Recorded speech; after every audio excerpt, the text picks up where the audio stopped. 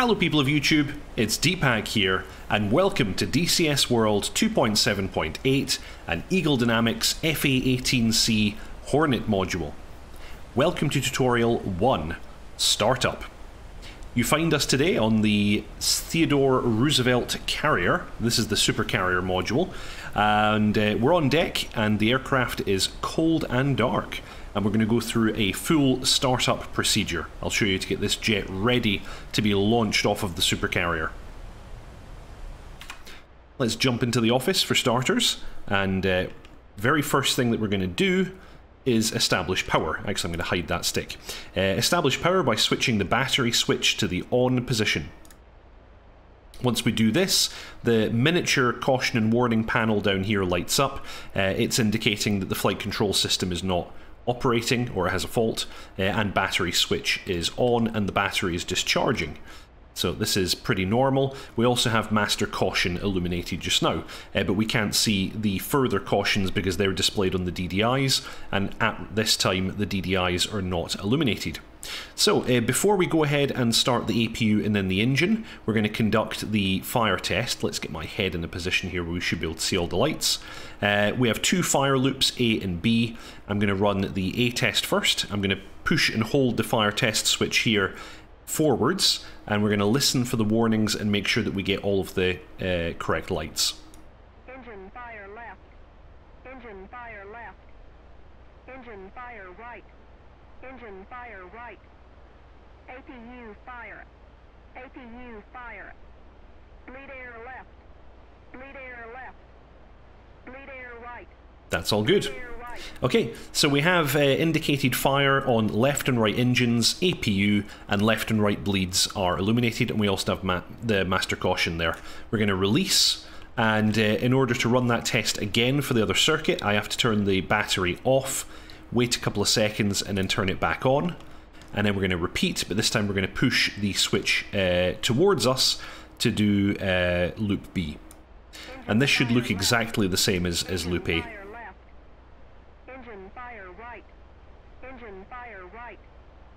APU fire. APU fire. Bleed air left. Bleed air left. And then bleed air right. Bleed air right. Bleed air right. Okay, we release the switch back to the normal position, and now we just have master caution. That's good, that's exactly what we want. Uh, we're now going to start the APU, we just flick the switch to on. APU startup is fully automatic while we're waiting for that to run. Uh, once it is running, we're going to get a green ready light here. Which we now have. Uh, we now have sufficient uh, air pressure to start the engines. Uh, before I go ahead and start the engine though, I'm going to close the canopy so that my paperwork doesn't end up in the intake. And also, things will be a little bit quieter at that stage. There we go. And uh, I'm now going to, well, I need to monitor the IFE, which is this integrated uh, engine and fuel instrument here. I'm going to push engine crank to the right. We're going to start the right engine first. That sits in that position. We can see that right engine is spooling up. Uh, I usually wait for it to get to about 25%, and at that stage I pop the throttle out of cutoff into idle. That's 25. Popping it into the idle position now. We have light, RPM increasing.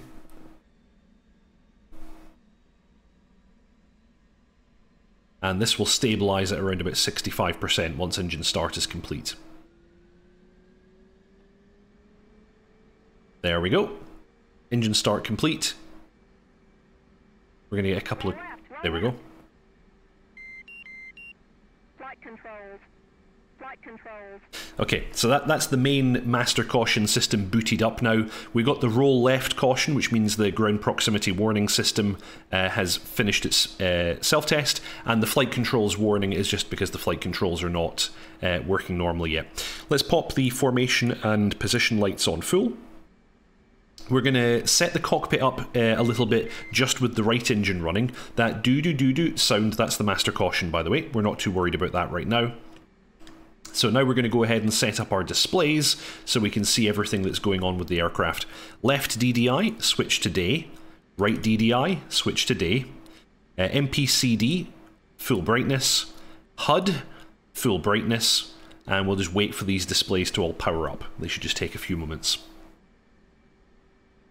Uh, I'm not going to run the bit tests, I'm just going to hit stop on that, main menu, main menu again, and go to checklist. I like to have the checklist on the right and on this left uh, DDI we're going to go flight control system. You'll see that we now have lots of uh, caution and warnings. So uh, by default uh, cautions and uh, actually these are cautions and advisories. Uh, cautions are in big font near the top advisories are at the bottom line. Um, they appear on the left DDI by default. If for whatever reason the left DDI is off they will then appear on the center DDI uh, but in any case, I'm going to pop the left DDI back on, and then we'll get them all up on the left DDI. Going to wait a couple of moments for that to boot up now.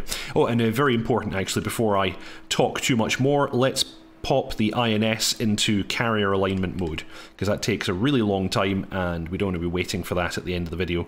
You'll see at first it's just going to flash, you know, it's going to say quality, no attitude, time is going to sit at zero and after a period of time that uh, time is going to start ticking up. Shouldn't take too much longer.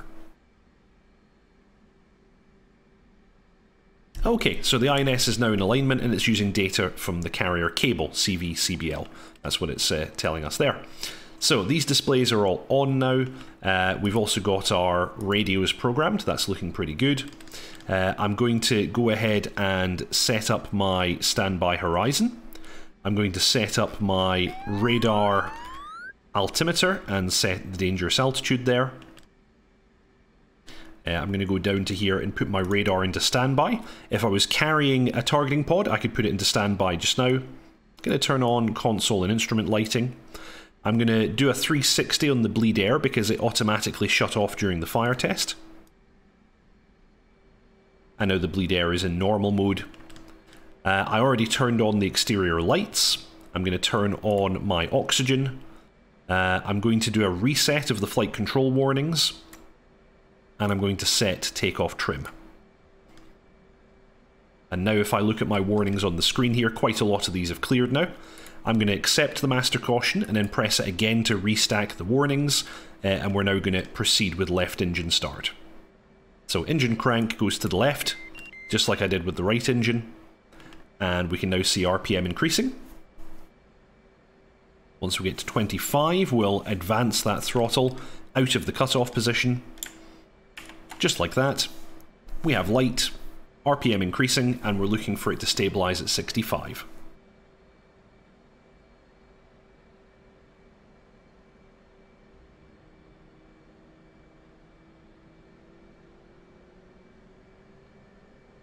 There we go. Left engine start complete. Uh, APU is still running. It will automatically shut down one minute after the, the final engine has started. So that's all looking good.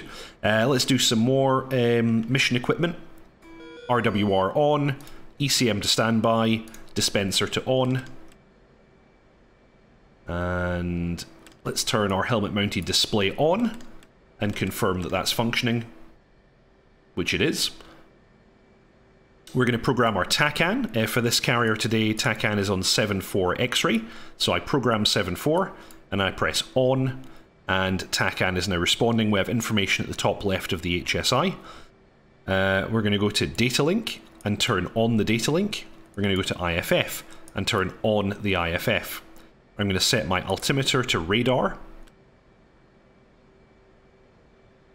and I'm going to do a little scan of the cockpit. I think that is all the major systems done, and that's the APU just spooling down now.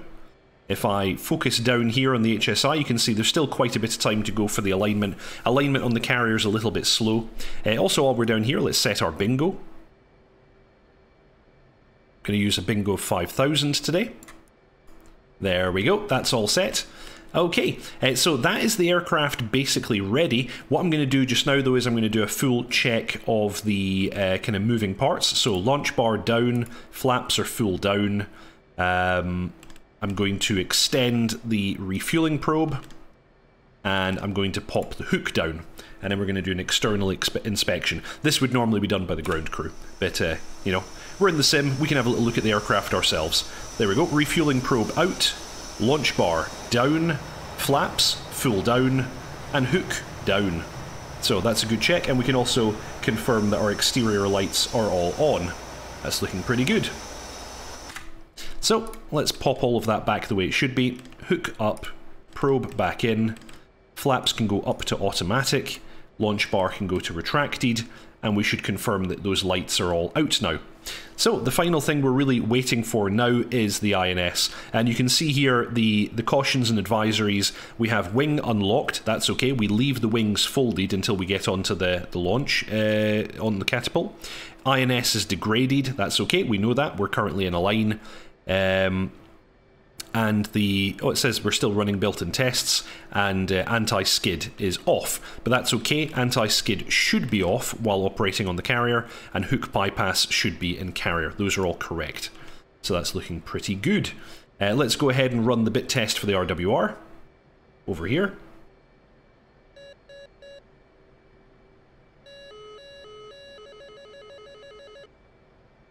There we go that's a, a good test of the RWR. That looks correct. Just doing a reset of the uh, radar altimeter. That's also looking good. and it is really just waiting for the INS now. Unfortunately, the uh, the end of the INS alignment is pretty slow. Let's uh, let's pop the ECM into built-in test as well. Uh, we'll get a we'll get a, a light up here once it actually completes that test. Might as well while we're waiting in any case. You'll note that I have not armed my seat and I've not uh, unfolded the wings. Uh, we're going to do both of those things once we taxi to the catapults over there. So let's accelerate time, because ain't nobody got time for that.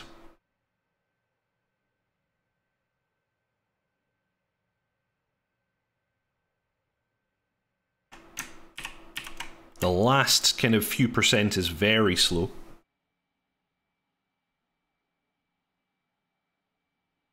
Eventually, next to quality, it's going to report OK, and that's going to be around about 8 minutes.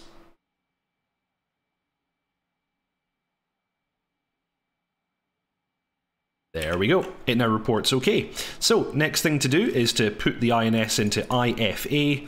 Radar can go to operate. It won't actually come on until we've got uh, weight off the wheels.